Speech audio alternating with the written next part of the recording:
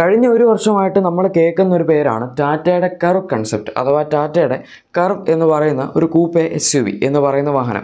ഇതൊരു പേരാണ് ഇത് ആക്ച്വലി ഒരു കോൺസെപ്റ്റ് വാഹനമായിരുന്നു. രണ്ടായിരത്തി ഇരുപത്തി രണ്ടിൽ അവർ ഇതിന്റെ ഇ വി വേർഷനായിട്ടാണ് കാണിച്ചത്. അത് കഴിഞ്ഞ് പിന്നെ രണ്ടായിരത്തി ഇരുപത്തി മൂന്ന് ഓട്ടോ എക്സ്പോയിൽ ഈ വണ്ടിയുടെ പെട്രോൾ പവർഡ് വേർഷനും കാണിച്ചിരുന്നു. പക്ഷേ എന്നാൽ ഈ അടുത്ത് ടാറ്റ ഒരു പുതിയ പേര് ട്രേഡ് മാർക്ക് ചെയ്തിട്ടുണ്ട്. ഫ്രസ്റ്റ് എന്നാണ് അവർ ട്രേഡ് മാർക്ക് ചെയ്തിരിക്കുന്ന പേര്. ഓക്കെ ഇപ്പോൾ വരുന്ന റൂമേഴ്സ് അനുസരിച്ച് ഇത് കർവിന്റെ പ്രൊഡക്ഷൻ സ്പെക്ക് പേരാണ്. എന്നുള്ളതാണ് എന്ന് പറയുന്നുണ്ട്. ഇത് ടാറ്റയുടെ കൺഫേം ചെയ്തിട്ടൊന്നുമില്ല. പക്ഷേ ഏതായാലും ഒരു കമ്പനി ഒരു പേറ്റന്റ് പേറ്റന്റ് അല്ല ഇതിപ്പം ട്രേഡ് മാർക്കാണ് പക്ഷെ എന്നാലും ഡിസൈൻ പേറ്റന്റുകൾ ചില കമ്പനികൾ റിലീസ് ചെയ്യാറുണ്ട്. അതുപോലെ ചില കമ്പനികൾ ഇതുപോലെ തന്നെ പേര് ട്രേഡ് മാർക്ക് ചെയ്യുന്ന റിലീസ് ചെയ്യാറുണ്ട്. അങ്ങനെ ഈ അടുത്ത് റിലീസായി വന്ന ഒരു പേരാണ് ഫ്രസ്റ്റ് എന്ന് പറയുന്നത്. ഈ കർവ് എന്ന് പറയുന്ന തീർച്ചയായും ഒരു കോൺസെപ്റ്റ് പേരാണ്. ശരിക്കുള്ള വണ്ടിക്ക് അവർ കർവ് എന്നൊന്നും പേരിടില്ല നമുക്കറിയാം.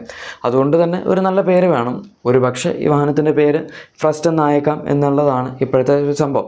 ഓക്കെ ഇനിയിപ്പോൾ ഈ വണ്ടിയെ പറ്റി പറയുകയാണെങ്കിൽ ഇത് അത്യാവശ്യം ഇൻട്രസ്റ്റിംഗ് ആയിട്ടുള്ള ഒരു വണ്ടിയാണ്. ഇതിനെപ്പറ്റി നമുക്കങ്ങനെ ഒരുപാട് ലേറ്റസ്റ്റ് ഇൻഫർമേഷൻ ഒന്നും അവൈലബിൾ അല്ല.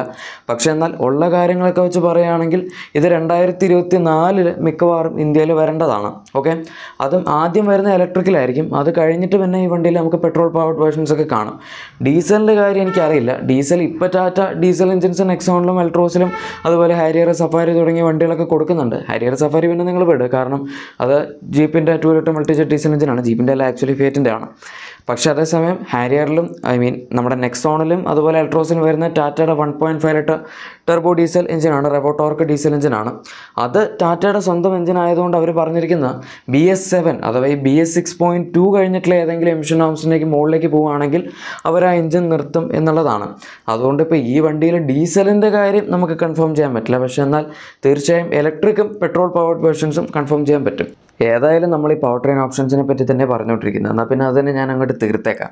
ഇതിന്റെ അകത്ത് വരാൻ പോകുന്നത് ഒരു one point two litre T G D I petrol എഞ്ചിനാണ് അതായത് turbo gasoline direct injection petrol എഞ്ചിനാണ് ഇതൊരു പുതിയ ജനറേഷൻ എഞ്ചിനാണ് ടാറ്റ കഴിഞ്ഞ ഓട്ടോ എക്സ്പോയിൽ കാണിച്ച ഒരു എഞ്ചിനാണിത് ഇതിനു മുമ്പ് വരെ അവർ ഉപയോഗിച്ചിരുന്ന വൺ പോയിന്റ് ടു എഞ്ചിൻ എന്ന് പറയുന്ന എം പി എഫ് ഐ എഞ്ചിനായിരുന്നു അതായത് മൾട്ടി പോയിന്റ് ഫിയർ ഇഞ്ചക്ഷൻ ആയിരുന്നു.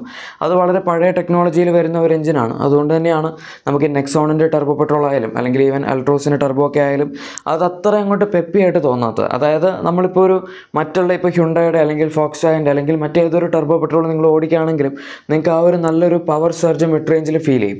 ഇതിന്റെ അകത്ത് മിഡ് റേഞ്ചിൽ പവർ ഉണ്ടെങ്കിലും ഒരുപാട് ഫ്ലാറ്റ് സ്പോട്ട്സ് ഉള്ള പവർ ഡെലിവറിയാണ് ടാറ്റയുടെ ടെർബോ പെട്രോൾ എഞ്ചിൻസിന് പൊതുവേ ഉള്ളത്. അത് അവർ കഴിഞ്ഞ അൾട്രോസിന് ടെർബോ ഒക്കെ ആയപ്പോഴേക്കും കുറേയൊക്കെ മാറ്റങ്ങൾ വരുത്താൻ പറ്റുന്ന രീതിയിലൊക്കെ മാറ്റങ്ങൾ വരുത്തിയിട്ടുണ്ടായിരുന്നു. പക്ഷേ ടെക്നോളജി പഴയതായതുകൊണ്ട് അതിന്റെ അകത്ത് ലിമിറ്റേഷൻസ് ഉണ്ട്. അതുകൊണ്ട് തന്നെയാണ് ഒരു പുതിയ പെട്രോൾ എഞ്ചിൻ കാണിച്ചത്. ഈ one point two T G D I എന്ന് പറയുന്നത് one twenty five B H P പവറും അതുപോലെ തന്നെ ഇരുന്നൂറ്റി ഇരുപത്തി അഞ്ച് ന്യൂട്രൺ മീറ്റേഴ്സിന് ടോർക്കും ജനറേറ്റ് ചെയ്യുന്ന ഒരു നല്ല ഓൺ പേപ്പർ പവർ ഫിഗേഴ്സ് ഒക്കെ ഉള്ള എഞ്ചിനാണ്. റിയൽ ലൈഫിൽ വരുമ്പം ടി ജി ഡി ഐ ആയതുകൊണ്ട് എനിക്ക് തോന്നുന്നില്ല ഇതിന്റെ പവർ അങ്ങനെ വളരെ മോശമായിരിക്കുന്നു അല്ലെങ്കിൽ ഒരുപാട് ഫ്ലാറ്റ് സ്പോട്ട്സ് ഉണ്ടാകുന്നു ഒക്കെ നമുക്ക് മിക്കവാറും നല്ല രീതിയിൽ തന്നെ പവർ ലഭിക്കും. പിന്നെ ഈ വണ്ടിയിൽ ഇതിന്റെ ആ ഒരു കൺസെപ്റ്റൊക്കെ കാണിച്ച സമയത്ത് one point five T G D I വരും എന്നും പറയുന്നുണ്ടായിരുന്നു. പക്ഷേ ആ റൂമേഴ്സൊക്കെ ഇപ്പോൾ താൽക്കാലികമായി മൊത്തത്തിൽ തള്ളിക്കളഞ്ഞിട്ടുണ്ട്. അതുകൊണ്ട് മിക്കവാറും അത് വരില്ല. പിന്നെ അത് കുറച്ച് ഓവർ പവർഡും ആയി പോകും ഈ വണ്ടിയുടെ ഒരു സെഗ്മെന്റ് വെച്ച് നോക്കുകയാണെങ്കിൽ. ചിലപ്പോൾ ടോപ്പ് വേരിയൻസിലൊക്കെ കൊടുത്തേക്കും കേട്ടോ. അവരിനി കൊടുക്കില്ല എന്ന് കണ്ടു. കാരണം ഇപ്പോൾ വരുന്നപ്പോൾ നമ്മൾ Taigun Kushaq Creta Seltos Astor ഇതുപോലുള്ള ഏത് ഒരു അബോഫോമിറ്റ കോമ്പാക്ട് എസ് യു എടുത്താലും ആ വണ്ടികളിലൊക്കെ തന്നെ ടർബോ പെട്രോൾ ഉണ്ട്. ആകെ ഗ്രാൻഡ് വിറ്റാരിലും ഹൈ റൈഡറിലും മാത്രമാണ് ഒരു സ്ട്രോങ് ഹൈബ്രിഡ് വെച്ച് പരിപാടി നടത്തുന്നത്. അതുകൊണ്ട് ചിലപ്പം നമ്മുടെ ഒരു കോമ്പറ്റീറ്റേഴ്സുമായിട്ട് കോമ്പീറ്റ് ചെയ്യാൻ പറ്റുന്ന രീതിയിൽ Tata one point five T G D ആയും ഇതിന്റെ അകത്ത് കൊടുത്തേക്കാം. പക്ഷേ അത് അത്ര ഭയങ്കര പവർ ഓറിന്റെ എഞ്ചിനൊന്നുമല്ല one seventy B H P ഒക്കെ ഉള്ള ഒരു എഞ്ചിനാണ് ടാറ്റ കഴിഞ്ഞ ഓട്ടോ എക്സ്പോയിൽ കാണിച്ചത്. അത് ഹാരിയറിൻ സഫാരിക്ക് വേണ്ടി തന്നെ ഡെവലപ്പ് ചെയ്തിരിക്കുന്ന എഞ്ചിനാണ് ആ one point five T G D ആയി. അതിപ്പോൾ ഇതിൽ കൊടുത്തു കഴിഞ്ഞാൽ കുറച്ച് ഓവർ പവർഡ് ആവും ഏതായാലും. എനിവേ അതിപ്പോൾ അവിടെ നിൽക്കട്ടെ നമുക്കിനിയിപ്പം ഇലക്ട്രിക്കിനെ പറ്റി പറയുകയാണെങ്കിൽ ഇതിന്റെ അകത്ത് അങ്ങനെ കൺഫേംഡ് ആയിട്ടുള്ള സ്പെക്കൊന്നും നമുക്ക് കിട്ടിയിട്ടില്ല. പക്ഷേ മിക്കവാറും ടാറ്റ ബീങ് ടാറ്റ അവരൊരു പുതിയ ബാറ്ററി പാക്ക് ആയിരിക്കും ഈ വണ്ടിയിൽ കൊടുക്കാൻ പോകുന്നത്. പിന്നെ ഇതിന്റെ അകത്ത് വരുന്നത് നമ്മുടെ നെക്സോണിലുള്ള സെയിം എക്സ് വൺ പ്ലാറ്റ്ഫോമാണ് അതായത് ഈ വണ്ടി ബേസിക്കലി നെക്സോണിന്റെ തന്നെ ഒരു കൂപ്പേ എസ് യു ആണെന്ന് പറയാം. നെക്സോൺ തന്നെ കൈൻഡ് ഓഫ് ഒരു സ്ലോപ്പിംഗ് റൂഫ് ലൈനൊക്കെ പോലെ വന്ന് സപ്പോമീറ്റർ കാറ്റഗറിയിൽ നിൽക്കുന്ന ഒരു വണ്ടിയാണ്. അതിന്റെ തന്നെ ആ ഒരു സ്ലോപ്പിംഗ് റൂഫ് ലൈൻ കുറച്ചും കൂടെ എക്സ്റ്റെൻഡ് ചെയ്ത് ബാക്കിലേക്കൊക്കെ കൊണ്ടുപോയി ഒരു പുതിയ അബോ അബോഫോമിറ്റ കോമ്പാക്ട് എസ് യു ആയിട്ട് ഇറക്കുന്ന വണ്ടിയാണ് ഈ കർവ് കൺസെപ്റ്റ് അഥവാ ഇപ്പോൾ വേണമെങ്കിൽ നമുക്ക് ഫ്രസ്റ്റ് എന്ന് തന്നെ ഇതിനെ വിളിക്കാം. അപ്പോൾ ആ ഒരു ഡിസൈൻ ഫോമാറ്റ് നമുക്ക് ഇതുവരെ ഈ പ്രൈസ് പോയിന്റിൽ ഇവിടെ ഇന്ത്യയിൽ കിട്ടിയിട്ടില്ല. ആൻഡ് ഇത് വരികയാണെങ്കിൽ മാത്രമേ എത്രമാത്രം ഇത് പ്രാക്ടിക്കലി പോസിബിൾ ആയിട്ട് വർക്കൗട്ട് ആവും. അല്ലെങ്കിൽ ബാക്കിലിരിക്കുന്ന ആൾക്കാർക്ക് ഹെഡ് റൂമിന്റെ കാര്യത്തിലൊക്കെ എന്തെങ്കിലും വലിയ ഇഷ്യൂസ് വരുമോ ഇതൊക്കെ നമ്മൾ ഇനിയിപ്പോൾ കാത്തിരുന്ന് കാണേണ്ട കാര്യങ്ങളാണ്. ഏതായാലും ഒന്നും കാണാതെ ടാറ്റ ഇങ്ങനെ ഒരു വണ്ടി ഇറക്കില്ല എന്ന് നമുക്ക് വിശ്വസിക്കാം. അതായത് അവർക്ക് ലാഭമുള്ള രീതിയിൽ തന്നെ ആയിരിക്കുമല്ലോ അവർ ഇറക്കുന്നത്. പിന്നെ ഇതൊരു പുതിയ ബോഡി ടൈപ്പ് ആണ് എന്നുള്ളൊരു സംഭവം മാത്രമേ ഉള്ളൂ. പിന്നെ ഒരു കാര്യമുണ്ട്. മഹീന്ദ്ര പണ്ട് X V five double aero എന്ന് പറയുന്ന ഒരു കോൺസെപ്റ്റ് കാണിച്ചായിരുന്നു. അത് ആ വണ്ടി അതും എക്സ് യു ഫൈവ് ഡബിളോട് തന്നെ ഒരു കൂപ്പേ ഫോമാറ്റിൽ ഉണ്ടായിരുന്ന വണ്ടിയായിരുന്നു. ആ കാലത്ത് ഭയങ്കര ഫ്യൂച്ചറിസ്റ്റിക് ആയിട്ട് അവർ കാണിച്ചൊരു കോൺസെപ്റ്റാണ് പക്ഷേ അതൊരിക്കലും പ്രൊഡക്ഷൻ സ്പെക്കായിട്ടൊന്നും അവരെവിടെയും കാണിച്ചിട്ടില്ല. ഇനിയിപ്പോൾ ഈ വണ്ടിയുടെ കാര്യത്തിൽ അങ്ങനെ എന്തെങ്കിലുമൊക്കെ നടക്കുമെന്ന് അറിയില്ല. ടാറ്റ ഏതായാലും ഇത് ലോഞ്ച് ചെയ്യാനുള്ള പ്ലാൻസ് ഉണ്ട് എന്ന് തന്നെയാണ് രണ്ടായിരത്തി ഇരുപത്തിരണ്ടിൽ ഇതിന്റെ ഇലക്ട്രിക് ആക്കി കാണിച്ചപ്പോൾ പറഞ്ഞതും. അതുപോലെ തന്നെ കഴിഞ്ഞ ഓട്ടോ എക്സ്പോയിൽ കാണിച്ച സമയത്ത് അവർ പറഞ്ഞത്.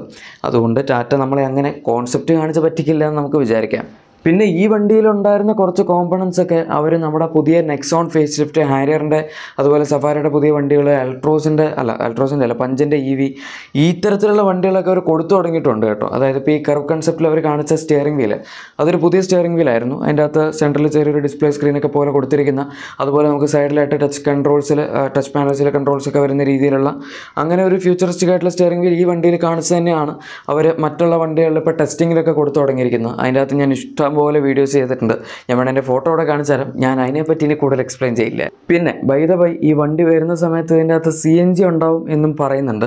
ഇതൊക്കെ ഇപ്പോൾ റൂമേഴ്സ് വരുന്നതാണ് കേട്ടോ. അതുപോലെ തന്നെ ഇതിന്റെ അകത്ത് ആ എ സിയുടെ control panel C N G എന്ന് പറയുന്നൊരു സാധനം ഒരു കോൺസെപ്റ്റൊക്കെ കാണിച്ച സമയത്ത് ഉണ്ടായിരുന്നല്ലോ. അതുകൊണ്ടായിരിക്കാം ചിലപ്പോൾ ഈ വണ്ടിയിൽ സി എൻ ജി ഉണ്ടാവും എന്നൊക്കെ പറയുന്നത്. ഉണ്ടായി കൂടായികൊന്നുമില്ല അവർ കൊടുക്കുന്നതുകൊണ്ട് നഷ്ടമില്ല. കാരണം ഇന്നത്തെ കാലത്ത് ഇപ്പോൾ ഇലക്ട്രിക് കഴിഞ്ഞാൽ ആൾക്കാർ ലോ കോസ്റ്റ് റണ്ണിങ്ങിന് വേണ്ടിയും പെട്രോളിന്റെ പ്രൈസ് ഇപ്പോൾ ഇങ്ങനെ കൂടുന്നതനുസരിച്ചൊക്കെ സി എൻ ജി വണ്ടികൾ പ്രിഫർ ചെയ്യുന്നുണ്ട്. കൂടുതലും മാരുതിയുടെ വണ്ടികളാണ് അവർ പ്രിഫർ ചെയ്യാറ് എന്ന് മാത്രം. ഏതായാലും ഇതാണിപ്പോൾ കർവ് കൺസെപ്റ്റ് ഇതിന്റെ ഈ അടുത്ത് വന്ന ഈ പെട്രോൾ പവർഡ് വണ്ടിയുടെ ഒരു വീഡിയോ പോലത്തെ സാധനം ടാറ്റ പുറത്തുവിട്ടിട്ടുണ്ടായിരുന്നു അതൊരു പക്ഷേ നിങ്ങൾ കണ്ടിട്ടുണ്ടാവായിരിക്കും. അത് കണ്ടാൽ തന്നെ നമുക്ക് ഓൾമോസ്റ്റ് കാര്യങ്ങളൊക്കെ മനസ്സിലാവും ഈ വണ്ടിയെ പറ്റി. അതായത് ഇതിന്റെ ഒരു ഡിസൈനും ഇതിന്റെ ഏകദേശം ഒരു രൂപവും. ഇപ്പോൾ ടാറ്റയുടെ ഒരു ഗുണം എന്താണെന്ന് വെച്ചാൽ അവരൊരു കോൺസെപ്റ്റ് വണ്ടി കാണിക്കുകയാണെങ്കിൽ അതുമായിട്ട് മാക്സിമം സിമിലാരിറ്റി ഉള്ള രീതിയിൽ തന്നെയായിരിക്കും ആ വണ്ടിയുടെ ശരിക്കുമുള്ള വേർഷൻ വരുന്ന സമയത്ത് അത് കാണാനുണ്ടാവുന്നത്. നിങ്ങളിപ്പോൾ ഹാരിയറിന്റെ കോൺസെപ്റ്റായ എച്ച് ഫൈവ് എക്സോ അല്ലെങ്കിൽ അൾട്രോസിന്റെ കോൺസെപ്റ്റ് എടുത്ത് നോക്കിയാലോ പഞ്ചിന്റെ എടുത്ത് നോക്കിയാലും എല്ലാത്തിലും അവർ മാക്സിമം സിമിലാരിറ്റി കീപ്പ് ചെയ്യാൻ തന്നെയാണ് നോക്കിയിരിക്കുന്നത്. അല്ലാതെ നമ്മളിപ്പം ഈ എക്സ്പ്രസ്സോയുടെ കോൺസെപ്റ്റ് എടുത്ത് ഹിന്റ് അത് ശരിക്കുള്ള വണ്ടിയിലേക്ക് വരുമ്പോഴേക്കുള്ള ഡിഫറൻസ് ഒന്നും ടാറ്റ സാധാരണ ഇതിൽ ചെയ്യാറില്ല. ഇത് ഇപ്പോൾ പുതിയതായിട്ട് തുടങ്ങിയ പരിപാടിയൊന്നുമല്ല. പണ്ട് മുതലേ ടാറ്റ ഇങ്ങനെ തന്നെയാണ്. കോൺസെപ്റ്റ് കാണിച്ചിരിക്കുന്ന വണ്ടികളുടെ ഡിസൈൻ അതുപോലെ തന്നെ ഒരു മാക്സിമം ഒപ്പിയെടുക്കാൻ നോക്കും. അതുകൊണ്ട് ഇപ്പോൾ കർവിന്റെ ഡിസൈനും ഏകദേശം ഇതുപോലൊക്കെ തന്നെ ആയിരിക്കും റിയൽ ലൈഫിൽ വരുമ്പോഴും ഉണ്ടാകാൻ പോകുന്നത് എന്ന് തന്നെ നമുക്ക് വിചാരിക്കാം. ഏതായാലും ഈ വണ്ടിയെ പറ്റിയുള്ള നിങ്ങളുടെ അഭിപ്രായം എന്താണ് എന്ന് തീർച്ചയായും താഴെ കമൻസിൽ പറയാം.